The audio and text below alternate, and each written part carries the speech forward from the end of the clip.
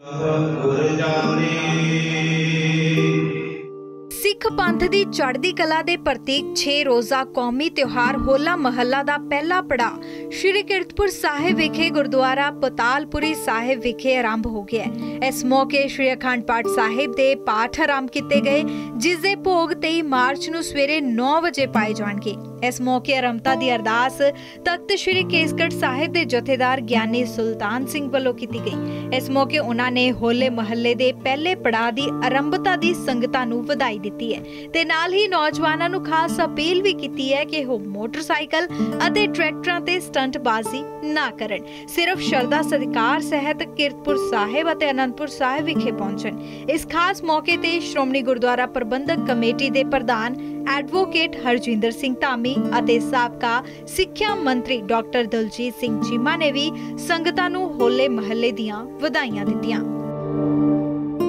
ਰੰਗ ਲਾਗਾ, ਤਲਾਲ ਦੇਵ, ਲਾਲ ਰੰਗ ਤਿਸ ਕੋ ਲੱਗਾ, ਜਿਸ ਕੀ ਵਡ ਮੈਲਾ ਕਦੇ ਨਾ ਹੋਵੇ ਨਹਿ ਲਾਗੇ ਤਾਗਾ ਧੰਨ ਧੰਨ ਕਲਗੀਧਰ ਦਸ਼ਮੇਸ਼ ਪਿਤਾ ਸ੍ਰੀ ਗੁਰੂ ਗੋਬਿੰਦ ਸਿੰਘ ਸਾਹਿਬ ਜੀ ਮਹਾਰਾਜ ਜੀ ਦੁਆਰਾ ਆਪਣੇ ਪਿਆਰੇ ਖਾਲਸਾ ਪੰਥ ਨੂੰ ਬਖਸ਼ਿਸ਼ ਕੀਤਾ ਹੋਇਆ ਕੌਮੀ ਤਿਉਹਾਰ ਹੋਲਾ ਮਹੱਲਾ ਸਮੁੱਚਾ ਹੀ ਖਾਲਸਾ ਪੰਥ ਬੜੀ ਚੜ੍ਹਦੀ ਕਲਾ ਦੇ ਨਾਲ, ਬੜੀ ਸ਼ਰਧਾ ਭਾਵਨਾ ਤੇ ਜਾਹੋ ਜਲਾਲ ਦੇ ਨਾਲ ਹਰ ਸਾਲ ਸ਼੍ਰੀ ਅਨੰਦਪੁਰ ਸਾਹਿਬ ਜੀ ਵਿਖੇ ਮਨਾਉਂਦਾ ਹੈ। ਔਰ ਇਸ ਸਾਲ 21 ਤੋਂ ਲੈ ਕਰਕੇ 26 ਤਰੀਕ ਤੱਕ ਹੋਲਾ ਮਹੱਲਾ ਸਮੁੱਚਾ ਹੀ ਖਾਲਸਾ ਪੰਥ ਸ਼੍ਰੀ ਅਨੰਦਪੁਰ ਸਾਹਿਬ ਜੀ ਵਿਖੇ ਮਨਾ ਰਿਹਾ ਹੈ।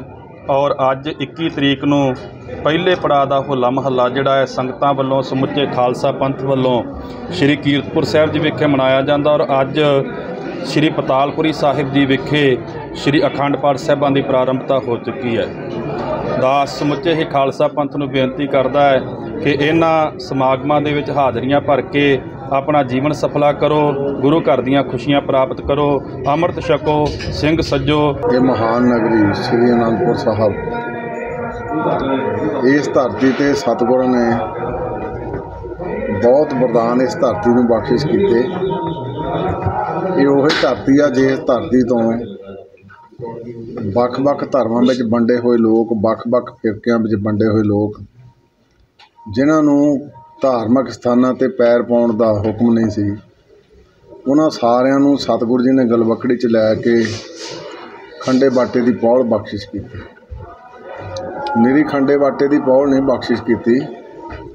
ਉਹਨਾਂ ਨੂੰ ਸਤਿਗੁਰੂ ਜੀ ਨੇ ਆਪਣੀ ਗਲਵਕੜੀ 'ਚ ਲੈ ਕੇ ਜਿਹੜੇ ਦੱਬੇ ਲਤਾੜੇ ਸੀ, ਉਹਨਾਂ ਨੂੰ ਰਾਜਿਆਂ ਦੇ ਮੁਕਾਬਲੇ ਦੇ ਵਿੱਚ ਖੜੇ ਕੀਤਾ। ਇਹੋ ਕਾਰਨ ਸੀ ਕਿ ਇਸ ਧਰਤੀ ਦੇ ਉੱਤੇ ਪਹਾੜੀ ਰਾਜੇ ਉਹ ਸਤਿਗੁਰੂ ਜੀ ਦੇ ਨਾਲ ਇਹ ਪਵਿੱਤਰ ਸਿਧਾਂਤਾਂ ਨੂੰ ਨਾ ਕਬੂਲਦੇ ਹੋਏ ਝਗੜੇ ਕਰਦੇ ਰਹੇ।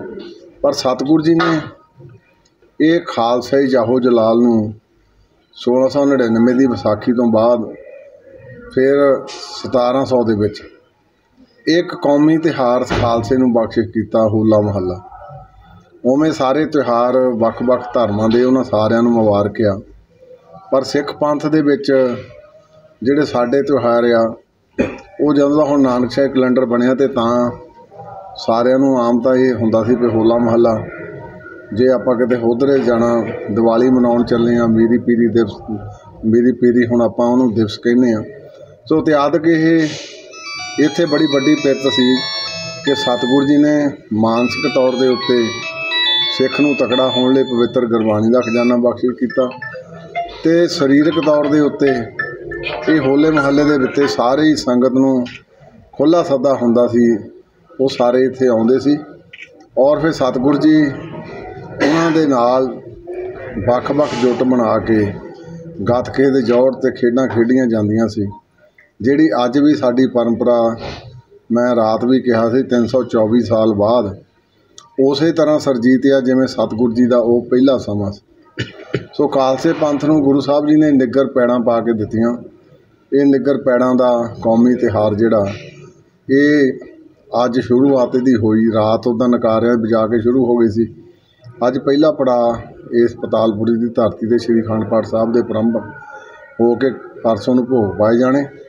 ਫਿਰ ਤਖਤ ਸ੍ਰੀ ਕੇਸਗੜ੍ਹ ਸਾਹਿਬ ਜੀ ਤੇ ਪਰਸੋਂ ਨੂੰ ਅਖੰਡ ਪਾਠ ਸਾਹਿਬ ਪ੍ਰਾਰੰਭ ਹੋਣਗੇ ਤੇ 26 ਤਰੀਕ ਨੂੰ 12 ਵਜੇ ਅਰਦਾਸ ਕਰਕੇ ਸਤਿਗੁਰਾਂ ਦੇ ਸਨਮੁਖ ਪੰਜਾਂ ਪਿਆਰਿਆਂ ਦੇ ਅਗਵਾਈ ਦੇ ਵਿੱਚ ਫਿਰ ਮਹਾਨ ਉਹ ਇੱਕ ਕੀਰਤਨ ਦਰਬਾਰ ਕੀਰ- ਨਗਰ ਕੀਰਤਨ ਦੇ ਰੂਪ ਦੇ ਵਿੱਚ ਸਮੁੱਚੇ ਤੌਰ ਤੇ ਖਾਲਸਾ ਪੰਥ ਔਰ ਨਿਹੰਗ ਸਿੰਘਾਂ ਦੀਆਂ ਸਿਰਮੌਰ ਸਾਰੀਆਂ ਜਥੇਬੰਦੀਆਂ, ਉਹ ਉਸੇ ਜਾਹੂ ਜਲਾਲ ਦੇ ਨਾਲ ਉਹ ਗੱਤਕੇ ਦੇ ਜੌਹਰ ਦਿਖਾਲਦੇ ਆ ਤੇ ਇਹਦੀ ਸੰਪੂਰਨਤਾ ਹੁੰਦੀ ਹੈ। ਮੈਂ ਜਿੱਥੇ ਸਮੁੱਚੇ ਖਾਲਸਾ ਪੰਥ ਨੂੰ ਬਹੁਤ-ਬਹੁਤ ਵਧਾਈ ਦਿੰਦਾ, ਉੱਥੇ ਕਾਮਨਾ ਵੀ ਕਰਦਾ ਕਿ ਬਾਰ-ਬਾਰ ਬਾਕੀ ਵੀ ਸਾਰਿਆਂ ਨੇ ਕਿਹਾ ਕਿ ਇਹ ਖਾਲਸਾ ਹੀ ਜਾਹੋ ਜਲਾਲ, ਖਾਲਸਾ ਜਾਹੋ ਜਲਾਲ ਦੇ ਤੌਰ ਤੇ ਮਨਾਇਆ ਜਾਵੇ ਨਾ ਕਿ ਇਹਨੂੰ ਚੁਣੌਤੀਆਂ ਦੇਣ ਲਈ ਜਾਂ ਇੱਕ ਦੂਜੇ ਨਾਲ ਲੜਾਈ ਝਗੜੇ ਕਰਨ ਲਈ ਜਾਂ ਉੱਚੀ ਉੱਚੀ ਆਪਾਂ ਡੈਕ ਲਾ ਕੇ ਕੋਈ ਹੋਰ ਗੀਤ ਲਾ ਦਿੰਦੇ ਹਾਂ ਇੱਦਾਂ ਦੇ ਕਾਰਜ ਨਾ ਕੀਤੇ ਜਾਣ। ਇਹ ਖਾਲਸੇ ਦੀ ਪਵਿੱਤਰ ਧਰਤੀ, ਇਸ ਧਰਤੀ ਤੇ ਪਿਆਰ ਦੇ ਨਾਲ, ਸਤਿਕਾਰ ਦੇ ਨਾਲ, ਨਿਮਰਤਾ ਦੇ ਨਾਲ ਹੀ ਸਾਰਿਆਂ ਨਾਲ ਪੇਸ਼ ਆਈਏ। ਸੋ ਇਹੋ ਹੀ ਵੱਡਾ ਸੁਨੇਹਾ ਆ। ਔਰ ਸਤਿਗੁਰੂ ਜੀ ਨੇ ਜਿਹੜਾ ਸਭ ਤੋਂ ਵੱਡਾ ਸਾਨੂੰ ਬਖਸ਼ਿਸ਼ ਕੀਤਾ ਸੀ, ਉਹ ਸੀ ਖੰਡੇ ਬਾਟੇ ਦੀ ਪੌਲ। ਤੇ ਉਹ ਖੰਡੇ ਬਾਟੇ ਦੀ ਪੌਲ ਇੱਥੇ ਨਿਰੰਤਰ ਹੁਣ ਸਾਰੇ ਦਿਨ ਐਵੇਂ ਚੱਲਣੀ ਆ ਤੇ ਖ- ਖਾਲਸਾ ਪੰਥ ਜਿਲੇ ਫਿਰ ਇਕੱਤਰ ਹੁੰਦਾ ਤੇ ਉਹ ਸਤਿਗੁਰੂ ਜੀ ਨੇ ਫਿਰ ਫਰਮਾਨ ਵੀ ਸਾਰਿਆਂ ਨੂੰ ਕੀਤਾ ਕਿ ਖਾਲਸਾ ਹੀ ਜਿਹੜਾ ਉਹ ਕਿੱਥੇ ਦਾ ਨਿਵਾਸੀ ਸ੍ਰੀ ਅਨੰਦਪੁਰ ਸਾਹਿਬ ਦਾ। ਖਾਲਸੇ ਦਾ ਪਿਤਾ ਧੰਨ ਧੰਨ ਸਾਹਿਬ ਸ੍ਰੀ ਗੁਰੂ ਗੋਬਿੰਦ ਸਿੰਘ ਪਾਤਸ਼ਾਹ ਜੀ, ਖਾਲਸੇ ਦੀ ਮਾਤਾ ਮਾਤਾ ਸਾਹਿਬ ਕੌਰ ਜੀ। ਤੇ ਸਾਡੇ ਪੁਰਾਣੇ ਵੇਲੇ ਜਿੰਨੇ ਅਕਾਲੀ ਹੁੰਦੇ ਸੀ, ਉਹ ਜੇ ਮੋਰਚਿਆਂ 'ਚ ਜਾਂਦੇ ਸੀ, ਤੇ ਉਹ ਆਪਣਾ ਇਹੋ ਹੀ ਲਿਖਾਉਂਦੇ ਹੁੰਦੇ ਸੀ। ਤੇ ਇਹ ਇੱਕ ਪਰੰਪਰਾ ਸੀ ਜਿਹੜੀ ਸਤਿਗੁਰੂ ਜੀ ਨੇ ਕਿਹਾ ਕਿ ਮਾਂ ਪੇ ਜਿਹੜੇ ਤੈਨੂੰ ਜਨਮ ਦੇਣ ਵਾਲੇ, ਤੇ ਤੈਨੂੰ ਫਿਰ ਇਹ ਮਾਨਸਿਕਤਾ, ਪੀੜਾ ਤੇ ਤੈਨੂੰ ਗੁਰਮਤ ਦਾ ਤੇ ਤੈਨੂੰ ਅਧਿਆਤਮਿਕਤਾ ਦੇ ਮਾਰਗ ਦੇ ਵਿੱਚ ਪ੍ਰਵੇਸ਼ ਕਰਨ ਲੱਗੇ ਹੋਏ ਖੰਡੇ ਬਾਟੇ ਦੀ ਪੌਲ ਸਤਿਗੁਰੂ ਜੀ ਨੇ ਬਖਸ਼ਿਸ਼ ਕਰਕੇ ਇਹ ਬੜੀਆਂ ਵੱਡੀਆਂ ਜਿਹੜੀਆਂ ਖਾਲਸੇ ਪੰਥ ਨੂੰ ਸਤਿਗੁਰੂ ਜੀ ਨੇ ਬਖਸ਼ਿਸ਼ਾਂ ਜਿਹੜੀਆਂ ਉਹ ਦਿੱਤੀਆਂ। ਸੋ ਅੱਜ ਵੀ ਉਹ ਖਾਲਸਾ ਪੰਥ ਉਹਨਾਂ ਪਰੰਪਰਾਵਾਂ ਦੇ ਅਨੁਕੂਲ ਹਰ ਇੱਕ ਪਰੰਪਰਾ ਦੀ ਪਾਲਣਾ ਕਰਦਾ।